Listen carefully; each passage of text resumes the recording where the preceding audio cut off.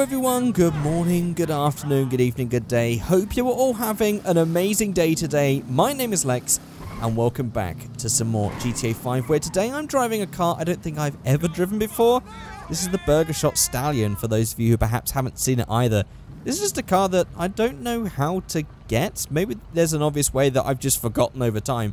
But I don't think I've ever seen this, like, out in the wild. I don't know where this would be parked or anything like that. Actually, if you guys know, please let me know in the comment section below because I'm just curious to find that out. But the reason I'm driving this car today is because, well, actually, you've probably seen the title and you've probably seen the thumbnail, so I'm not even going to try and hide this anymore. It's because today we're going to be looking at a custom racetrack. You can actually see it now in a really odd location just off the beach right over here. So as you can probably tell, this isn't one of these old style maps that you load up in Map Editor and it's made out of a bunch of the things that are already in GTA 5 stuck together, where the whole base of the map is just actually made out of flat cargo ships or whatever the hell it is, tugboats, I, I can't remember what they make it out of now. But this is an actual proper new map add-on. And as you can see, the uh, the terrain isn't really well textured, it's not really well modeled. But of course, this is another one of these early days map mods.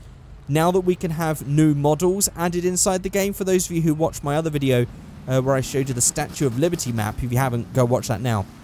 It, it, the reason that map works is because Rockstar already made that, but this is something that has actually been made by someone, presumably from scratch. Actually, can we make this up here, or is that... Okay, we can... Okay, this is going to be fun. I'm going to try and jump in. We're going to have to take a huge run up to get here.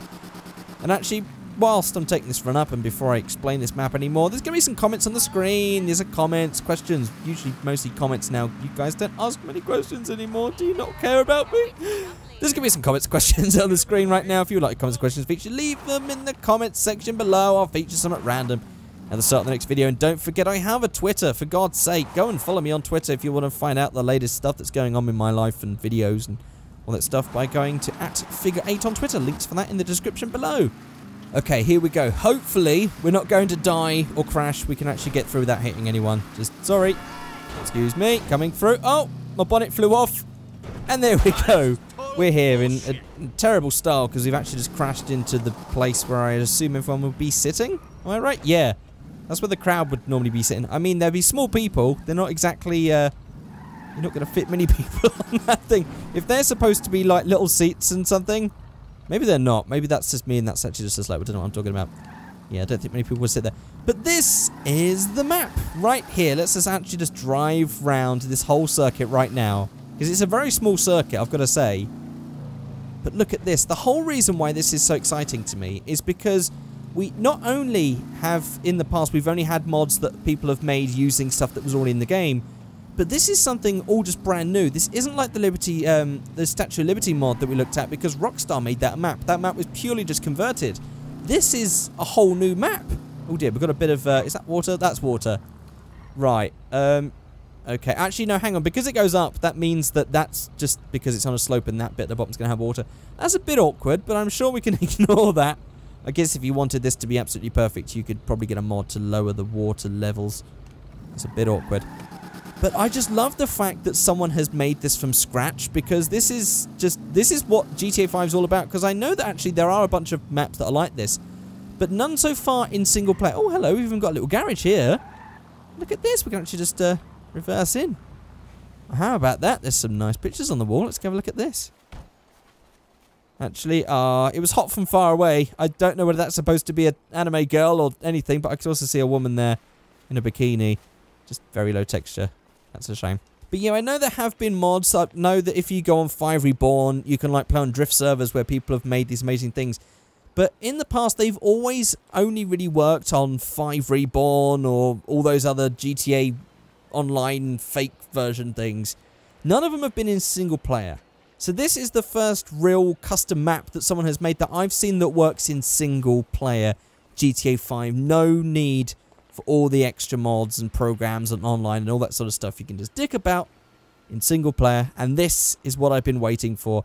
This is really weird because this um, angle is quite it's quite scary, actually. I'm not sure if that was intended to be that way, but it's kind of weird. So actually what I'm going to do is I'm going to spawn in a better car because that one I got sort of bored with. It's quite a tight map. And so because of that, I'm going to try and get a smaller, slower car. And actually, maybe the Brioso is going to be absolutely perfect for us. Although, I don't like that green. I'm going to go straight ahead and just change the livery and the paint straight away. Because I want that to be a much nicer looking thing. Let's go over to... Where is our livery on this thing? Okay, we don't, but I decided just to change the colour anyway because it just looked a bit sucky. There we go. We've got a bit of an issue with green, but I think that's because in this map you can actually see the reflection is the water. The problem is the game doesn't know that this is here. That's why the seagulls are like sort of flying really low to the ground. And actually, I think that's about to go through the building right there. Here we go. Yeah, so the, the, the game doesn't really treat this map as something that's there. So there are going to be this issue with seagulls and stuff, and the fact that you can see the water reflection. I don't know whether that's going to happen later on, whether they're going to change all that sort of stuff. But again, this is really early days uh, for this thing to actually work inside a single player. I know the guys, I think it's the guys at OpenIV that have done all this stuff to get this all to work because they're currently working on a full-scale GTA 4 Liberty City map into GTA 5 mod, which is going to be absolutely amazing when it gets done. And what I'm actually waiting for as well is I'm really hoping to see some proper cool mods and map mods for uh, North Yankton. There are actually a few that already exist, and I will do videos on them because uh, some some people's ideas of what North Yankton could look like with extra buildings and stuff is actually quite amazing. I, am definitely going to be showing those mods, so look out for some North Yankton custom mods soon, because I'm absolutely fascinated with custom North Yankton stuff. But I would love to see what people could do, like those mods, the, the mod maps that I've seen, I'm sort of like teasing you here by saying what I've seen without showing you. But I believe that those are all using map editor, so they're all using bits that are already in the game, and they're not using anything new. Whereas this is all new stuff, and I want to see someone who can like make landscape and texture the landscape and make all these new models and stuff. Like, really do that sort of work in North Yankton to just make a whole new fictional city. I just, I can't wait for that to be a thing. Oh, dear. Oh, God. Okay, that was close. Yeah, I think because we've got this hill, it's actually sort of like making the car quite um, unstable when we go around these because now we're going uphill. I mean, I'm not going to exactly do very good lap times on this thing, but that was not really the point. I just wanted to show you that this thing exists. Just to just to shout from the hills, guys, look at this. There will be a link in the description below where you can go and download it. All you need to do, if you know how to install an add-on car, and I have got a link in the in somewhere. I've got a. In fact, I'm going to put a link in the description to that video because I've done a video on this in the past. How you can install an add-on car. All you need is that information, and you can install this into GTA 5. You also have to have script hook and all that sort of stuff. Instructions for that are very simple. You can usually find those with the mods themselves. Oh, I just crashed into the water there just a little bit. And all it takes is just one DLC add-on pack thing to be added, one line of code in the file, which again I show in the video that I have done. I'll put a link to my video in the description. And it's one DLL file in the scripts folder, and that's it to get this whole thing working and it is just absolutely brilliant. It works in the exact same way as the Liberty City statue uh, map, so if you haven't seen that video yet, go check that out, and you can download that mod and install it in the exact same way as this. It's not that... If I was going to rate this as a map, I mean, um, the track is sort of basic and whatever, but it's, it's quite fun. But of course, the landscape is the bit that I think can be worked on, but the fact that this landscape exists and just shows you what is possible excites me greatly. Let's just go around the outside. This just look, it even goes down here, so they've even got all the edges and stuff mapped out, which is great. Let's just have a look at this from the sky as well. There we go. Look at that. Absolutely wonderful. That is going to be it. I know these map mods have been quite short lately, but it's just it's hard to really like show you much when we do car mods and stuff. I sort of like tune them up, whatever. Not so much we could do with these map things apart from just investigate them. And this is quite a simple one, really. I just really wanted to show you guys what it was like. But there we go. That is it. Thank you all so much for watching. That is actually... Oh, we've actually got collisions on this one. Can we walk through the door? No, we do actually have collisions on this one, so this one's actually even slightly better than the uh, Statue of Liberty map in some ways, if you think about it. Well, there we go. I'm going to stand inside and just watch all the water come up on the map. Oh, look, there's another little uh, garage there. Oh, I didn't see that. Yeah, I, I mean, you're not exactly going to get your car through the door, but... yeah.